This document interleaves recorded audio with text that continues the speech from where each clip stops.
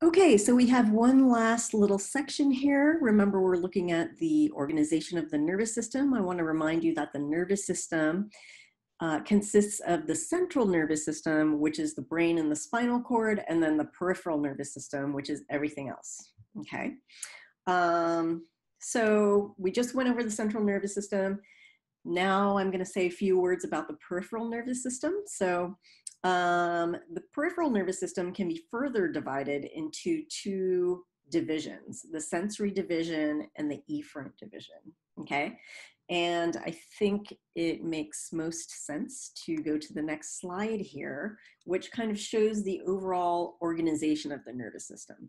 Um, there's lots of little boxes here showing a lot of different things, but don't worry too much about that. What I wanna show you is kind of um, how the sensory and efferent divisions fit into the, the overall organization and scheme of the nervous system. Okay, so the sensory division is shown on this side of this figure. And the sensory division is going to be the part of the peripheral nervous system that takes in information from the outside and actually from the inside. Okay, so it's going to sense your external environment, it's going to sense your internal environment, and it's going to send that information up to the central nervous system for processing. Okay.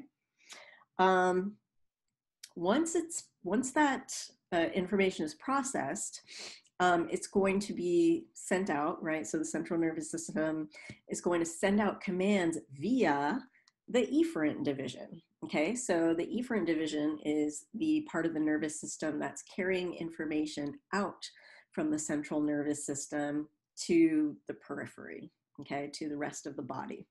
Um, the efferent division can be further subdivided, but we'll talk about that later when we, we have a whole uh, set of lectures about the efferent division. Um, okay, I think that's basically it. So that kind of wraps up our uh, discussion of nervous system organization. These are your learning goals. Here's your vocabulary. I think it's pretty straightforward. Um, see you next time.